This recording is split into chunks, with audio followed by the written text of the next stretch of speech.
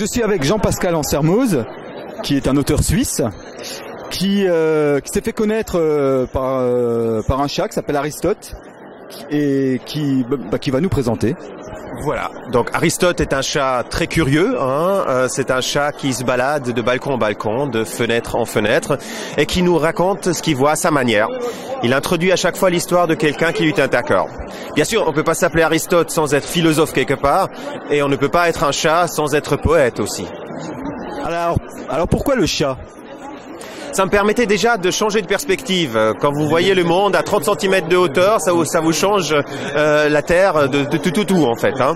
Et je voulais ce côté indépendant. Euh, alors que si je prends le regard d'un personnage humain, j'ai toujours derrière cette, euh, cette tendance à vouloir justifier les choses. Alors qu'un chat, il peut très bien euh, faire des choses qui ne sont pas justifiables finalement. Hein, et nous raconter le monde tel qu'il le voit.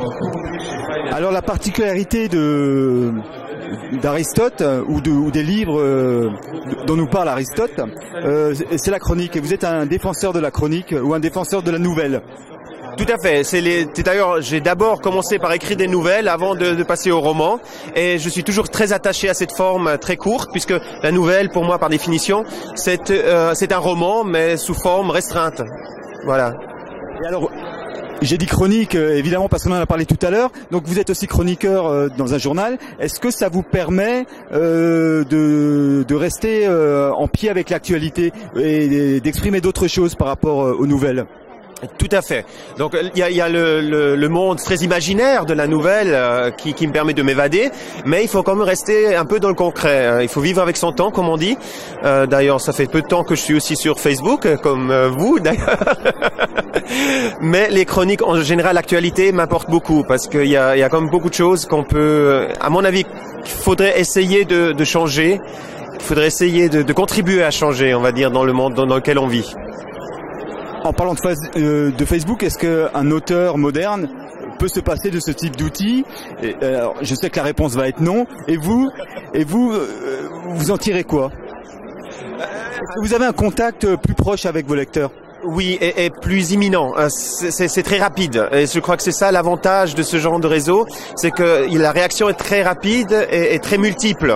On a, avant, quand on avait, on travaillait avec les mails ou même avec les lettres encore à l'époque euh, qu'on écrivait, on avait des, on, on avait l'impression que les gens se retenaient avec leur leur opinion, alors que maintenant c'est plus cash, c'est plus c'est plus direct le contact. Et moi, en tant qu'auteur, c'est très important de savoir aussi ce que les gens pensent de ce que je fais. Je peux aussi mieux me présenter à travers un blog comme, comme Facebook euh, donne la possibilité d'avoir. Alors vous êtes un auteur de langue euh, francophone et germanique aussi. Est-ce que quand vous faites des salons, vous, vous avez des, des points de vue qui sont différents ou semblables par rapport euh, à la lecture qu'ont les gens de vos, euh, de vos livres? Oui, tout à fait. Donc j'écris aussi en allemand, mais c'est des choses qui ne sont pas traduites. Donc j'écris complètement des choses complètement différentes en allemand qu'en français. Mais la tendance est effectivement qu'il y a une question culturelle. Hein. Le lecteur est une personne culturelle. Donc la France euh, a tendance à être à réagir autrement sur les salons qu'en qu Allemagne. Tout à fait. Alors, elle réagit comment la France par rapport à, à vos ouvrages? Il faut faire attention, il y a juste les élections euh, qui ont passé chez vous, non? Justement, vous ne risquez plus rien. Non, euh, euh, blague à part, le contact en France est beaucoup plus humain. Les gens sur un salon, ils viennent vous voir, ils viennent discuter, etc. Euh, du côté germanique, on a beaucoup tendance à dire que les gens, ils ont des listes, ils viennent, ils savent pourquoi. Donc peu importe comment on parle, finalement, ils savent déjà, ils ont déjà pris la décision plus ou moins avant. Euh, ils sont venus pour cet auteur-là, pour cet ouvrage-là. Alors qu'en France, les gens, ils ont bien, ils aiment bien échanger, et puis dans l'échange, si ça leur plaît, ben ils vont, ils vont prendre le quand même, même s'ils n'ont pas eu l'intention de, de, venir euh, voir l'auteur euh, en question.